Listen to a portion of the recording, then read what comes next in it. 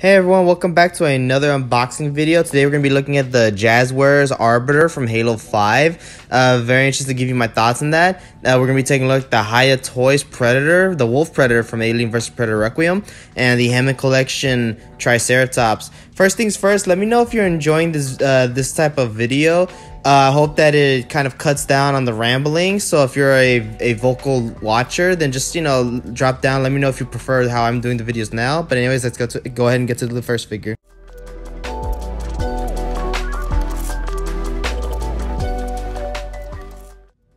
So here we have the Arbiter from Halo 5. And I gotta say, the design itself is one of my favorite designs for the Arbiter. I know not everyone likes the Halo 4 and 5 design choices, but I just really like how the Arbiter turned out. Wasn't the biggest fan of the Elites from Halo 4 and 5, but I thought Arbiter came out great. As for the figure itself, I think to be totally honest, it's a mixed bag. There are some things that I think are huge improvements, such as the sculpting and painting.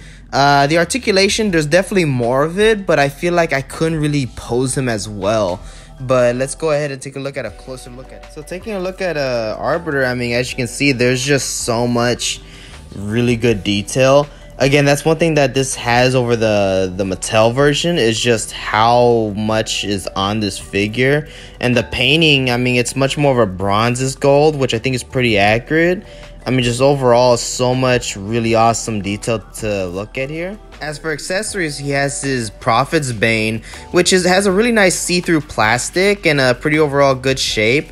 Although I'll show you in a second it mine's came in very warped and that's the thing I don't like about it uh, but here we have the little plasma repeater. Wish he came with a carbine instead. I think that would have been more fitting. But no, uh, nevertheless, there's a lot of really good detail. And as you'll see in a second, there's even like the little uh, visor thing, or not the visor, the little ammo count thing, which is really cool.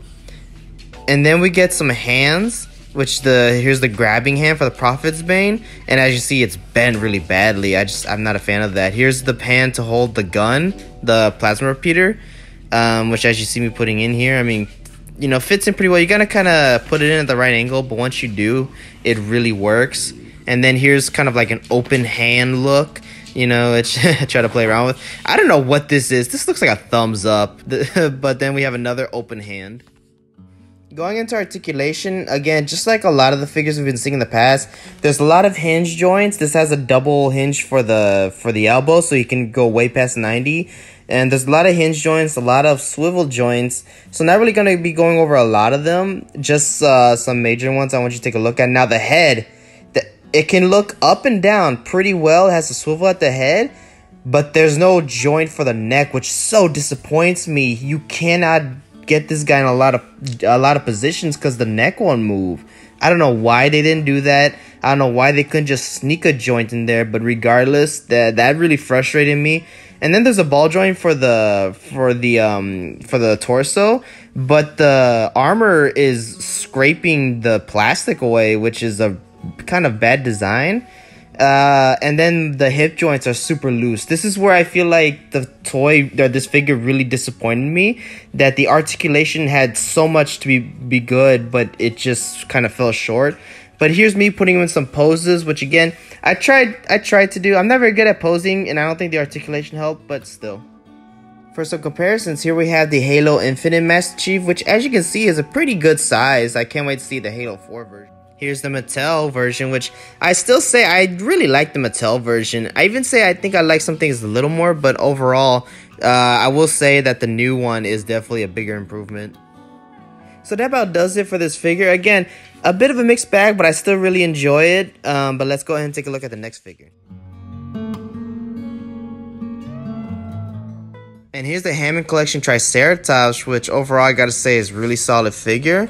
And yeah, let's go ahead and take a look, closer look at it. So really, the articulation, you know, it's just like we've talked before. It's just uh, a lot of hinge and swivel joints and maybe a couple ball joints. But what I really want to talk about is that I really do like the articulation. You can pose it, at least you can get in a lot of poses, at least for me personally. Like I said, I'm not very good at posing, but it works well enough. And sadly, there's no mouth articulation, which I think is weird, but it's the articulation is still good enough that you can get it some decent poses. You can get definitely get it in more than the standard Mattel uh, basic line that we get. Um, and so I think that's what makes it, you know, a little more premium, a little more well worth it. Um, but yeah, just overall, like I said, it's basic articulation. Maybe not as good as something like the Beast of Mesozoic, but it still works well enough that you know I really enjoy playing with this thing. Uh, and plus, I mean, it's just so good. We'll we'll get to the detail later, but yeah, I mean, I think overall, I'm definitely really really impressed with how this figure turned out. Taking a closer look at the scaling detail, I mean, it's just great. All the wrinkles mixed with all the scales and the pebbling and the osteoderms or whatever they're called like they're just it's it's so so good and i actually compared it next to the fallen kingdom the original fallen kingdom triceratops and man just what an improvement all the wrinkles and everything it's I mean, obviously the designs are different. If you actually look at them, the designs are pretty different. But even then, still, I mean, just you know, it, I think the Hammond collection just offers so much more detail that the original did have, but this one just really kind of pushes it a little further. Make again, making it much more that premium. Uh, like just right here, the scale, the scaling is just so good.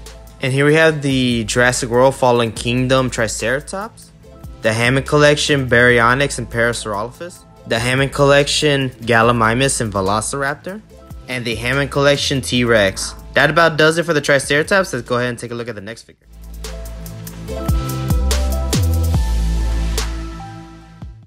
Here we have Hiya Toys Wolf Predator. Now, normally I don't collect Hiya Toys, I collect NECA, but one, they haven't made a Wolf Predator, so I just said, you know what, screw it.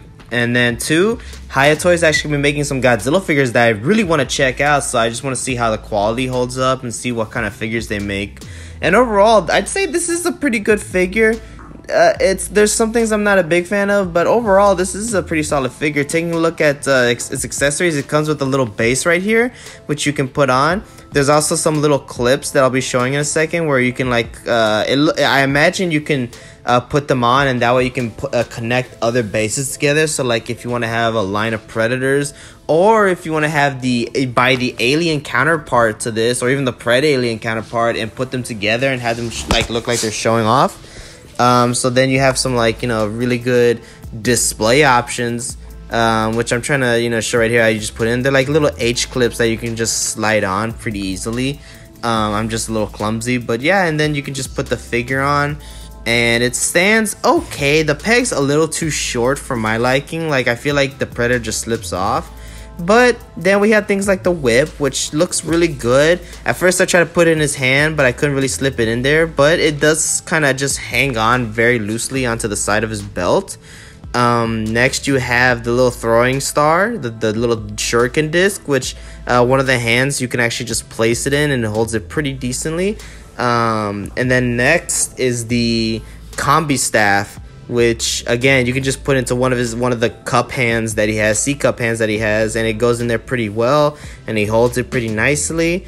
And yeah, I mean, just a pretty decent amount. I wish he had the little gun, the little gun that he kind of crafts at the end of the movie. But regardless, he still has like the plasma casters, he still has the backpack, and yeah, I mean, just oh, and he comes with extra hands. So one again holds the holds the shuriken, and this one holds the is just like an open hand.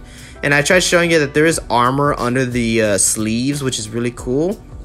And then yeah, just showing you the articulation. There's a pretty decent amount of articulation. The uh, top of the plasma casters are on ball joints, and then they're just on hinge joints for the bottom, so you can kind of move them up and down, move them around.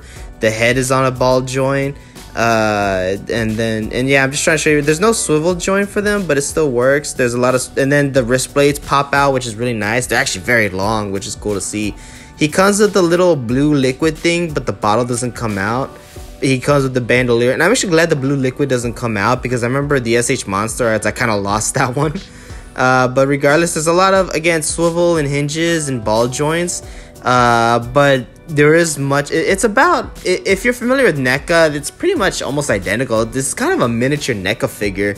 Uh, and I accidentally took the leg off, which is a little funny. But yeah, I mean, like I said, it's kind of a miniature NECA figure. So if you're familiar with th- that articulation, it's kind of identical to that. At least like the newer Ultimate Predators that they make.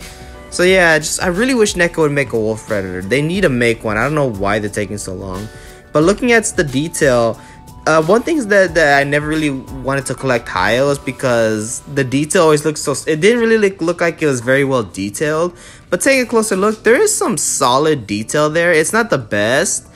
Like the skin's a little too smooth for my liking, but what is there looks really nice. The metal especially is very, very well detailed. Like we're gonna see right here in a second, as soon as I focus it, there is a lot of really awesome texturing going on on the metal pieces that I think really it make it look really nice. I wish the skin again had a little more detail, but what is there does look solid for a tiny like this is a very small figure. So I, I like just keeping that in mind. It is it, it's it where it needs to be detailed. It's it's really good. Um, so yeah, overall, I think that's just that's just kind of my overall feelings. I I like this a lot. It's not one of my favorite type of figures because but what's there looks really good. It handles pretty well. So yeah, and going on some comparisons, here's the NECA Scar and the Scarface, just because these are the closest to AVPs that we have. So yeah, hopefully, like I said, hopefully we just get that NECA Wolf. Thank y'all for watching this video. I hope y'all enjoy. Be sure to follow my Instagram page, Giovanni Arts Collectibles. I really appreciate if you take a look there. I post pictures of my art, sometimes my collection if I have time. But yeah, just overall, again, let me know if you like how I'm doing the videos now. It really helps me figure out where to where to take this channel. But anyways, uh, thank y'all for watching and have a great day.